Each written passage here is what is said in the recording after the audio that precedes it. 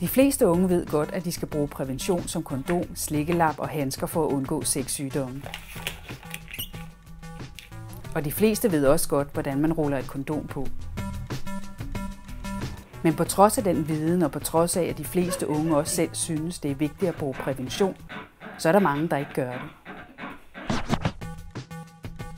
Undersøgelser fra Sundhedsstyrelsen viser, at 52 procent af de 16-18-årige brugte kondom sidste gang, de havde sex med en ny partner. Men de resterende 48 procent brugte ikke noget. Hvordan kan det være? Hvilke årsager er der til det? Det har vi talt med en gruppe unge om for at blive klogere på, hvilke valg unge træffer om sikker sex.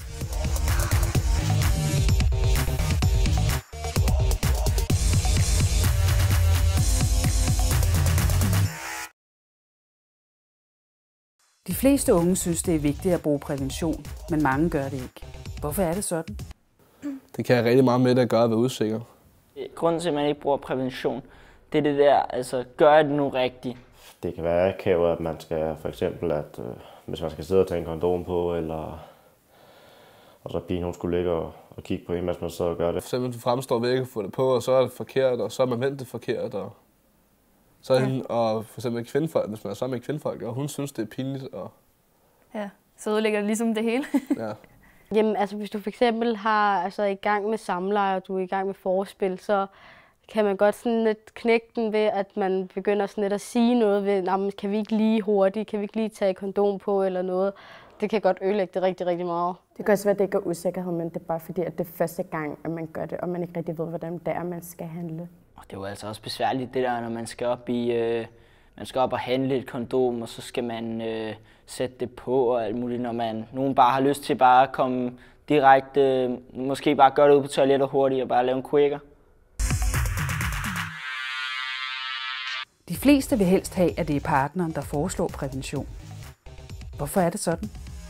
Det, det, er nok, det er nok pinligt at skal spørge om det, og så selv nævne det. Mm. Men altså, hvis nu partneren selv spørger, så, ligesom, oh, så bløder man lige lidt op, og så, ah, okay, det havde jeg faktisk også selv i tankerne, at det, det var nok det bedste. Sådan, man er bange for, sådan, at hvad ens partner vil tænke, hvis man nu sådan, gerne vil have det, men man kan også føle, at det bliver lidt flot, hvis man selv spørger om det. Så man hellere have den anden spørge om det og sådan sige, ja, hvorfor ikke? Jamen altså, hvis man er rigtig nervøs for at spørge, altså, og så den anden altså, ligesom tager initiativ til at spørge, om de skal bruge øh, altså, kondom, så kan den anden person jo blive glad og altså, sådan lidt mere lettet. Nogle unge føler sig presset til at dyrke usikker sex, fordi de tænker, at partneren ikke vil bruge noget. Hvad tænker I om det? Det er jo ikke så fedt. Man skal jo ikke føle sig presset til at have sex overhovedet. Hvis man føler sig tvunget til, øh, til usikker sex, jamen, så er det jo ikke, så er der jo ikke rigtig noget ved det, jo, hvis man føler sig tvunget til noget. Der er ikke nogen, der kan lide at blive tvunget til noget, så, så burde man faktisk ikke gøre det. En pige, hun kan faktisk få en virkelig dårlig oplevelse af det. Øh, det har jeg da hørt mange om i hvert fald, at de har fået en do- dårlig oplevelse af sex, fordi så fortryder de det bagefter jo. Så ikke, man kan jo godt blive rigtig ked af det. Altså, man kan jo føle sig udnyttet eller brugt lidt. Uden at, altså, man, altså, man har jo selv sagt ja, men hvis man ikke helt har haft lyst til det, altså på grund af, at der ikke er blevet brugt kondom, så kan man jo godt have det lidt øh, dårligt med sig selv bagefter. Jeg synes, det er dumt. Øh, fordi at, jeg synes ikke, at man skal ligesom være bange for at sige til sin partner, at man, at man vil bruge kondom.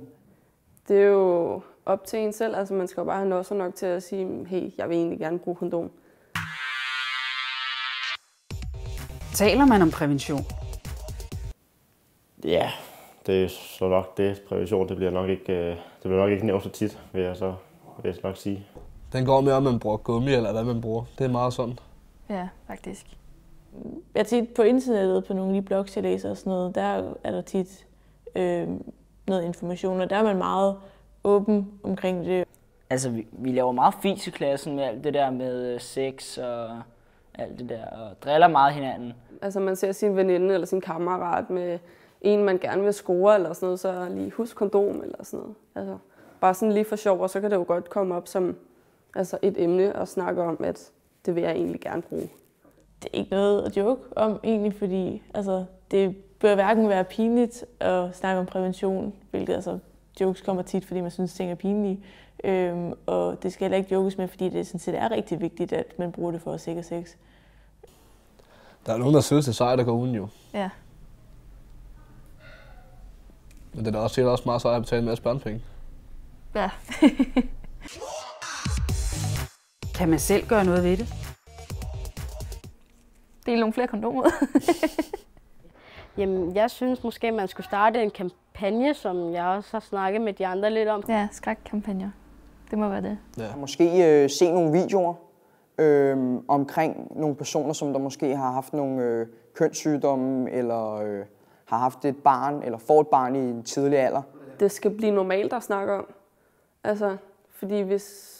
Altså, man skal bare snakke om det noget mere.